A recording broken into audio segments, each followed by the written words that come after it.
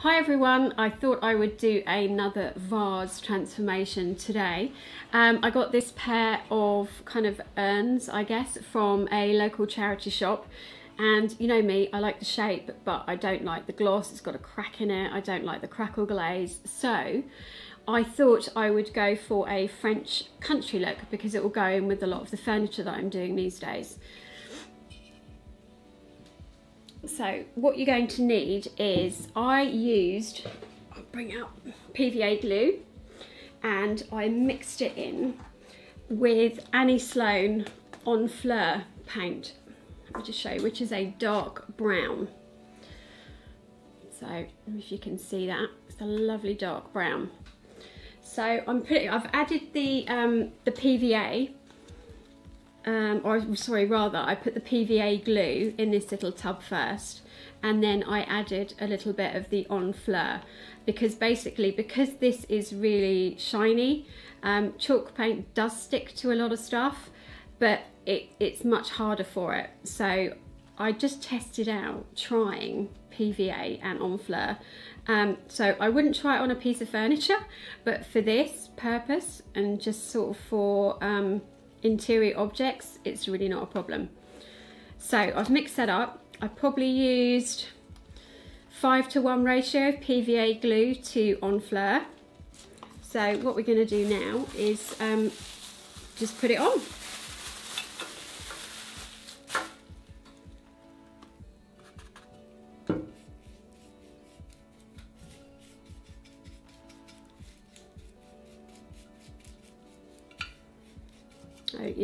Be careful about it.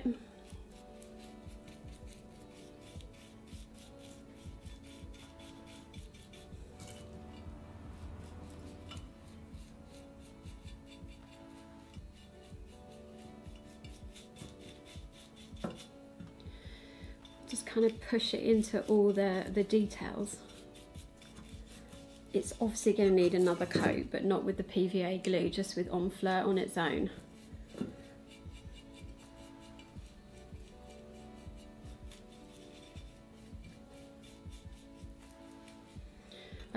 Don't know what you call PVA glue in America. Is it actually called PVA glue still?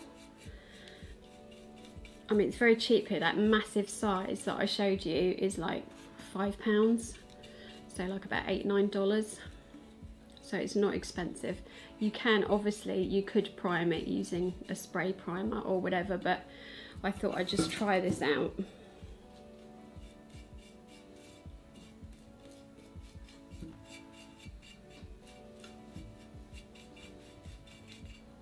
Make sure you go in the inside so if you're going to use it in photos if you're going to use it for staging that it doesn't look white on the inside. Right we're getting there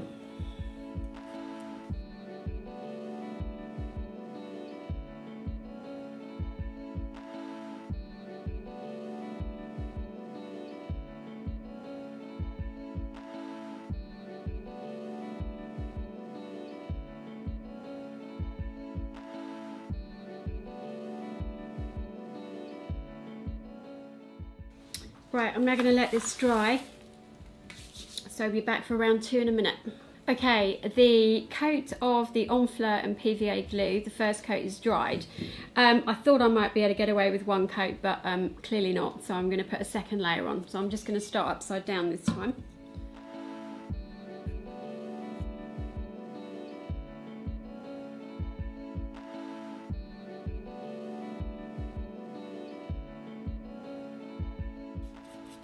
Again, you don't need to be careful doing this.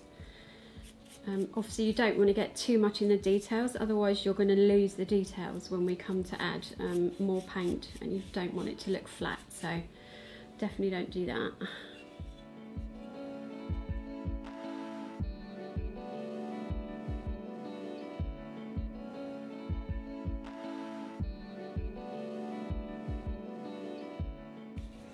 The mixing of the um, PVA and the glue was um, just a bit of a test actually because um, I haven't done it before but I just thought you know what I'm going to try it so and it worked out okay on the um, on the finished piece but I wouldn't say do it obviously for a piece of furniture or whatever.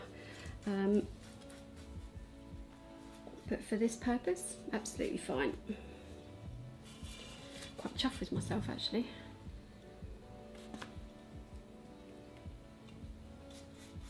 Right, nearly there. Doesn't have to be perfect because I'm going to put a coat of Honfleur, um, Annie Sloan's chalk paint, um, on without the PVA glue after this. So if you can still see bits of the cream, it's really not a problem.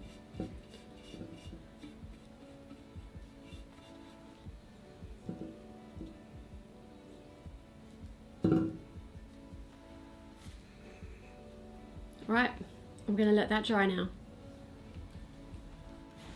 Right, so second layer of Honfleur and PVA glue has dried. So I'm now using just the Annie Sloan Honfleur um, on its own. I'm using a crappy old chip brush, so use whatever you've got.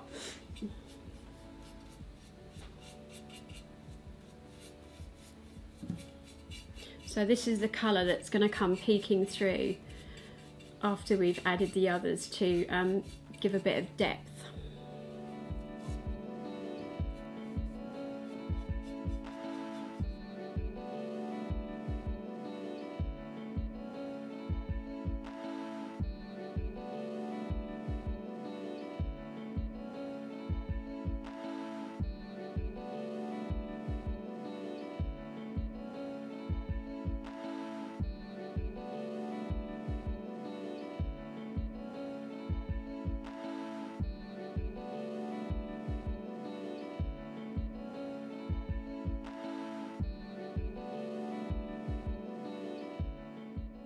Right, the coat of um, Annie Sloan's Honfleur um, has now dried. You can see it's now got a matte chalky finish rather than the slightly slimy, uh, slimy, shiny bit where we had um, PVA glue in.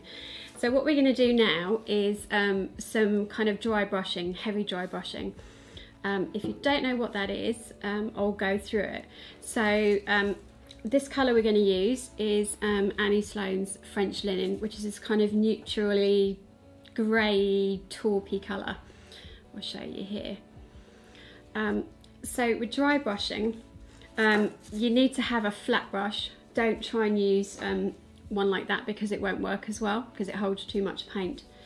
Um, so I use a little bit of shop towel but you can use a piece of cardboard or whatever.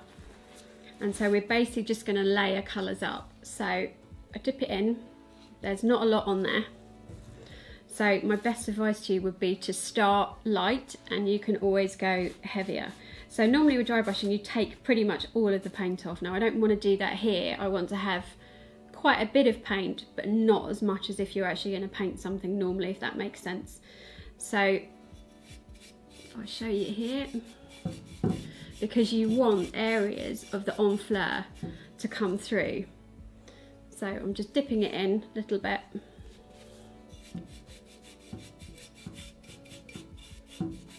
And I know it looks an absolute mess right at the moment but it won't at the end.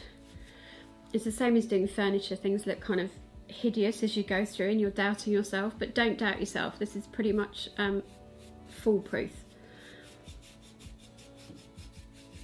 Now if you like a bit of um, sort of bling you could put on the details a little bit of gold or bronze underneath before you do this French linen but I want it to look quite earthy so it goes with my furniture. So you can see I'm being a bit braver now. I'm not um, wiping it on the shop towel first.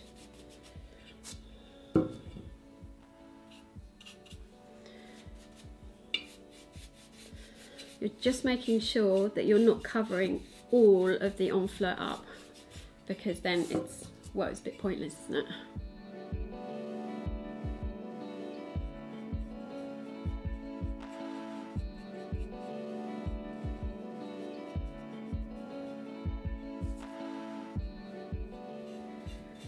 So I guess we can call this wet kind of dry brushing if that makes sense. And it's one of my favourite things to do, especially on something where you've got detail, because it highlights it. And we're going to layer a couple of colours here, so there's two more colours to go after this. Um, so obviously you don't need to use Annie Sloan paints. I'm not sponsored at all. You can use, you know, whatever you like, whatever you have to hand.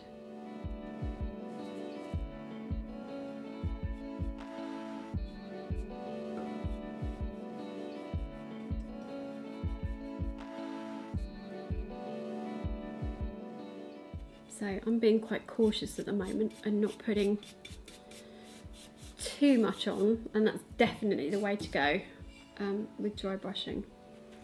Because what you don't want is a big kind of splodge.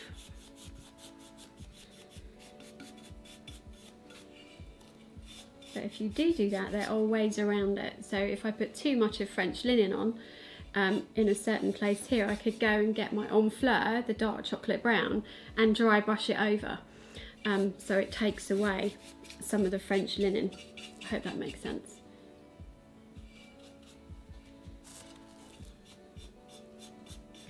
And the bonus of dry brushing is that it doesn't really take long to dry at all because you're not using much paint. So, and I guess always it's cost effective as well because yeah, you're not using a lot of paint at all. So I definitely recommend this technique for anything with detail, say furniture that's got beautiful in intricate carvings um, or details. It looks like amazing.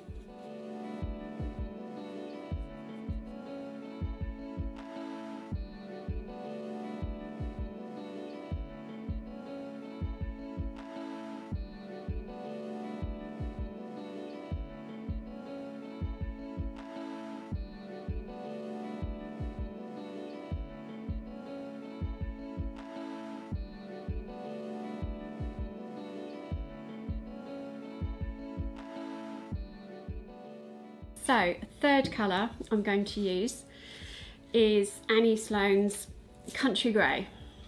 Um, and it's this kind of beigey, neutrally colour, but obviously lighter than French linen. So you can see what I'm doing. I started with the darkest colour Honfleur, then French linen, and now Country Grey. So I am going to use the same brush basically because there's barely any paint on it. Um, but um, I would suggest using a fresh brush, but um, I don't have many clean ones left now. So let me just move this out of the way. So similar thing, I'm gonna start off light. So dip it in, just take the excess off. And then put it over. So I'm gonna use less of this than I did the colour before but hopefully you can see already what a difference it makes. So we're just adding dimension upon dimension basically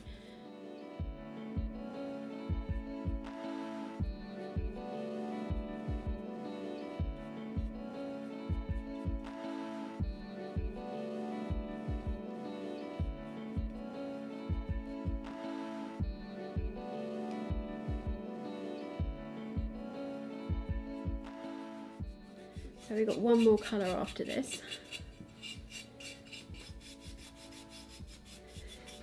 And then we have the glaze, which really brings it to life. Massive fan of glaze.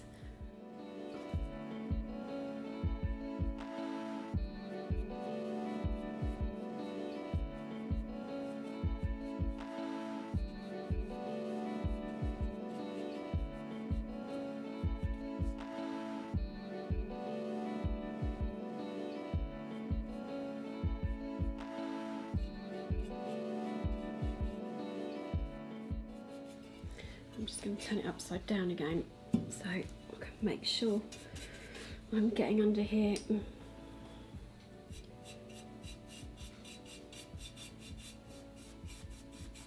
can see I'm getting braver again, I'm not taking the excess off. So this is, as I said, it's like a wet dry brushing. Um, we'll do a proper bit of dry brushing um, in a moment with the next colour.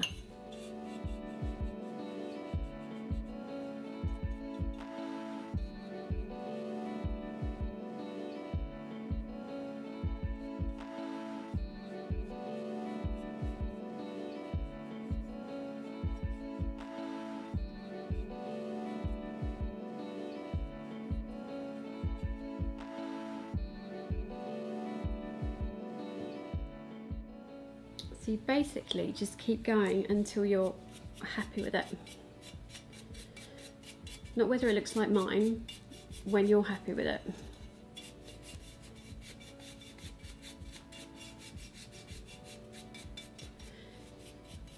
because when I first started, I think I said it in the first video, I used to think, oh my god, I'll watch these videos and try and recreate it, and mine will always look would always look different. And I thought, oh my god, I'm useless, I'm no good at this.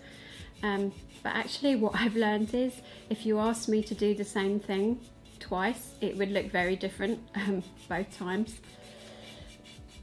So don't sort of set yourself up to fail because that's what I did and it, I really took um, a confidence knock because I thought, oh my god, I'm, I'm rubbish. But you're not. This isn't rocket science, it's just practice. And it's fun.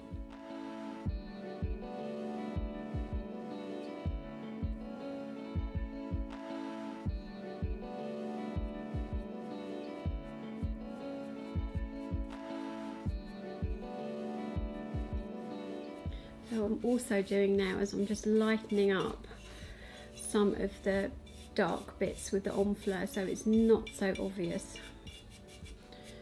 I don't want to cover them all up, I just want to get some of the lighter paint in there.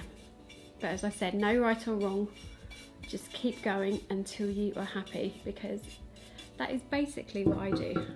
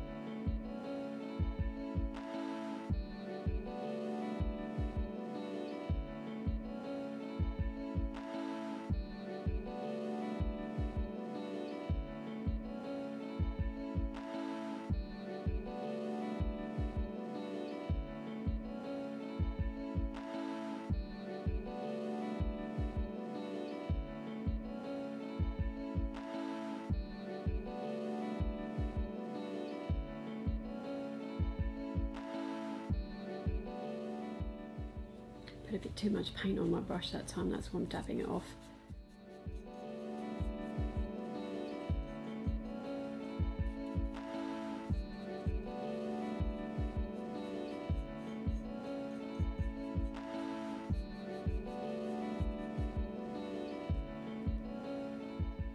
Right, getting there. Not much longer, I don't think.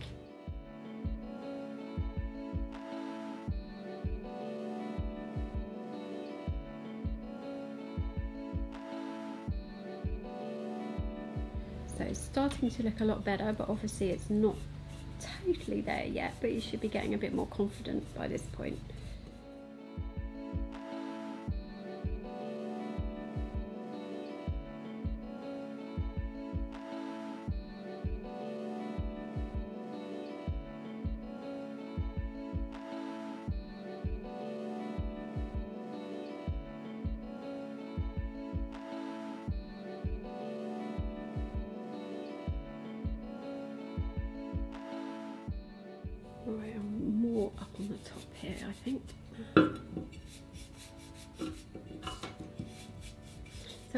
Don't need to do it with these colours either.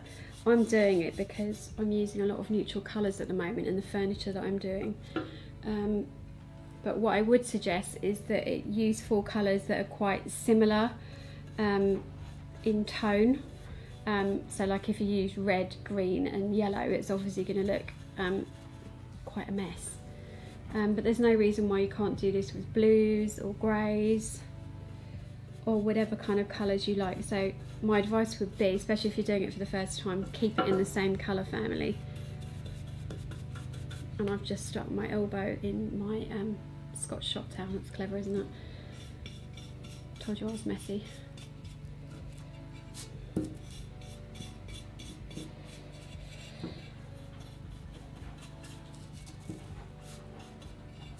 Right. Ta-da! That is coat number three.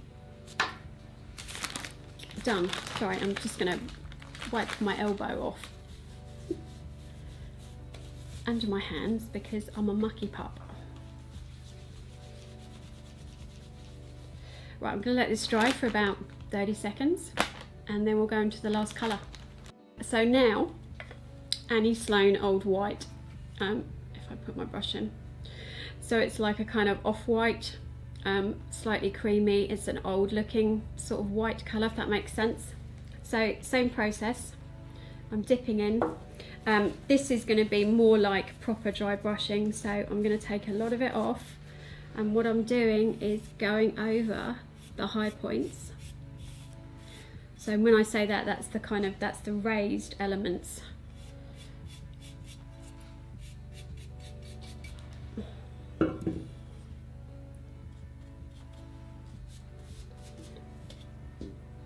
have enough on my brush that time. So take it off.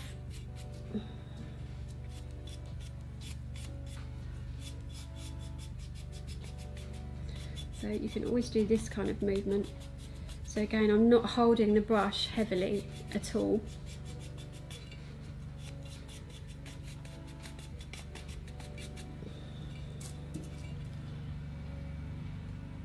So there's hardly any paint in here, so I'm having to like guess where the where the paint is. So hopefully you can see that you're getting lovely highlights.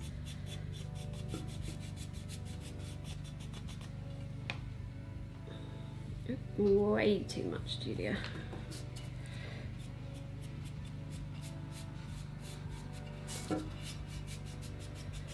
So really light touch. You're barely holding the brush. And you can see this is a bit that kind of brings it to life.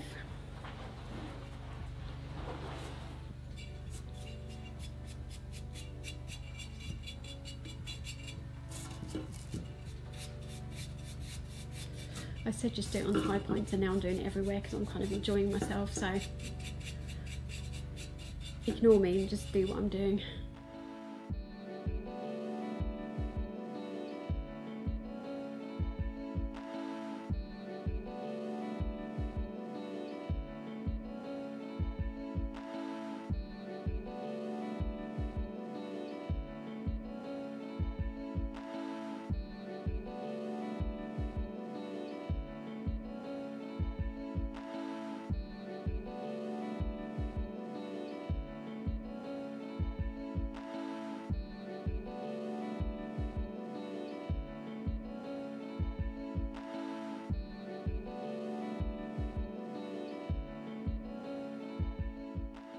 So there's literally like barely any paint on here at all now.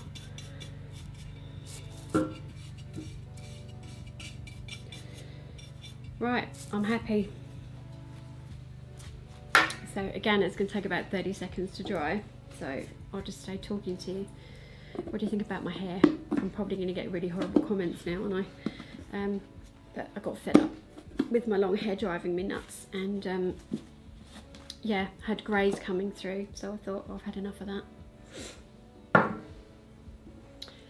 Right, next step is um, glaze.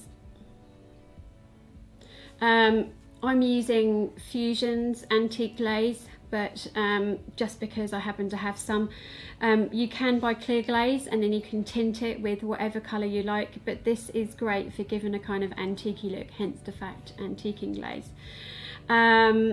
It's kind of like a bronzy brown. So you could always if you've got some bronze paint you could always mix it with glaze. Um, but this is pre-mixed. So it's one of my favorites actually.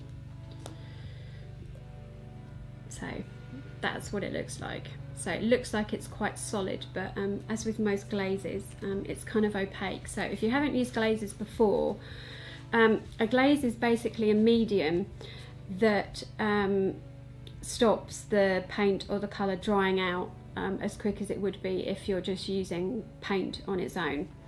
Um, if you don't have glaze, you could use a colour wash, so paint with water in it. But what I would advise is to put a top coat of some sort on this now because otherwise it will start pulling off and you may see the kind of original vase underneath. So that's why I'm using a glaze. But yeah, glaze just gives you a longer open time to play with the finish and the colour. Sorry, I'm absolutely covered in stuff here, so I'm just wiping myself down a little bit. So baby wipes, top tip, have loads of them. Right, so I'm getting the brush I use for glaze with the other one. Um, it doesn't have to be a brush like this. Um, I like it just because it enables me to get in the details. So all we're going to do is dip it in. I'm going to start at the bottom, I think. So you see at this moment you're thinking, oh my God, what is she doing? She's absolutely just ruined that. But wait, this is the magic bit.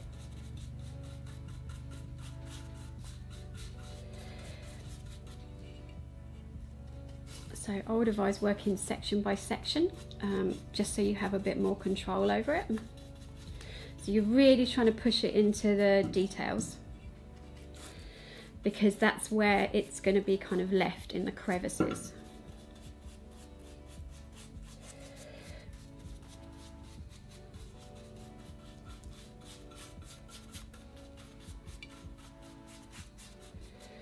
I'm just checking I've got all of that. Oh no, I missed a bit.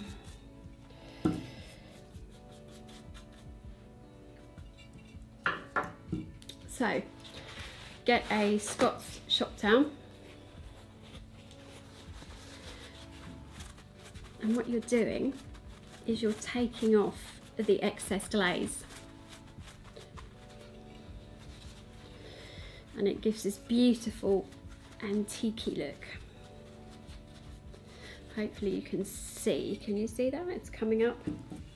This is why you work in sections because although it gives you a longer open time, if you did say like, you know, part of a sideboard or something and you did one side, a lot of it would be dry before you came to this part. Um, with glaze you can brush off as well, um, but I don't want to in this instance. I just want to dab off the excess.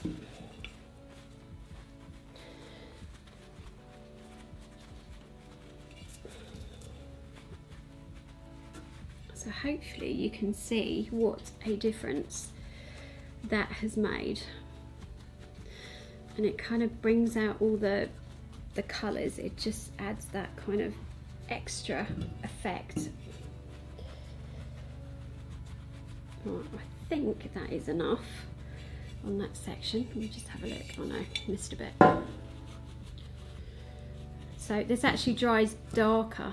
Um, so if you do have any massive blobs of it left, you'll end up with quite a dark um, mark, which you don't want. So, and you have to keep changing your shop towel because what's going to happen otherwise is this is going to get saturated. Um, with glaze and then it's going to be sticky so you're going to be taking the glaze and the paint off which is not what you want so I'm taking a new bit of shop towel and now I'm working up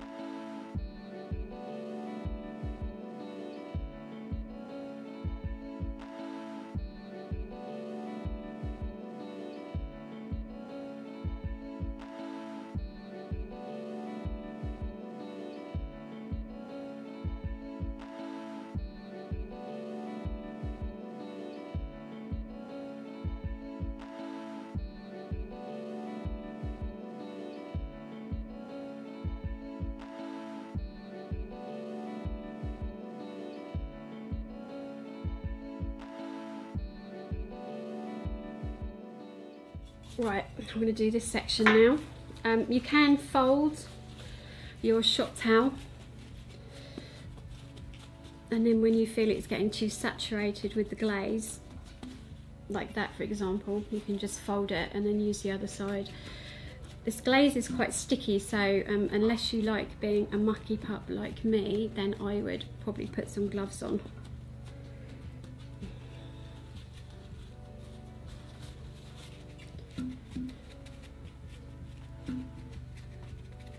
Right, I'm just dabbing off the excess glaze. Um, normally leave glaze to dry for a couple of hours depending on the size things, but because this is YouTube and I want to hurry up, I'm basically going to do the next step now, so hopefully it turns out alright. Um, what I want to do is I'm going to get some super fine um, sanding pad um, because what I want to do is to get some of the, the some of the other colours coming through. So I'm just going to gently going to rub over.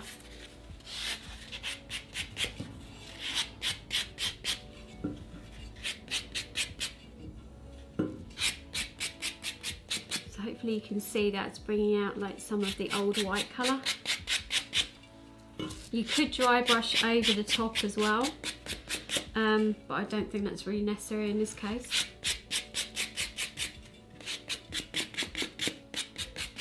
So again, just step back um, and have a look at it.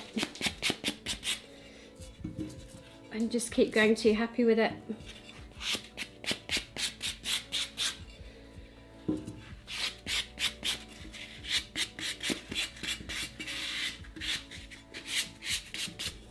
And then we'll see whether they match up.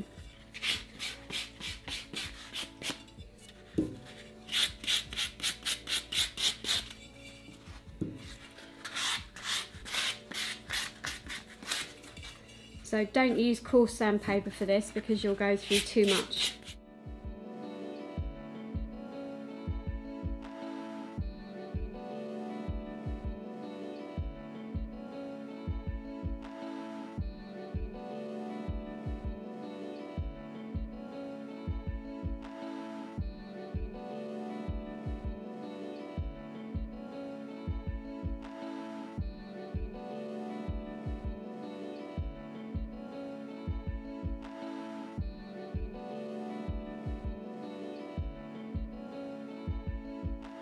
Right, there we go. Let me get the other one.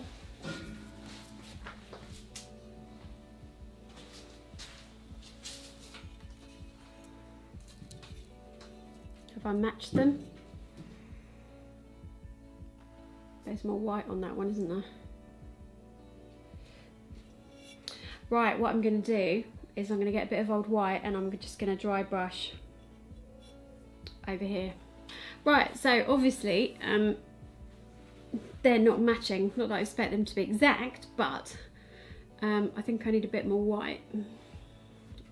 So I'm going to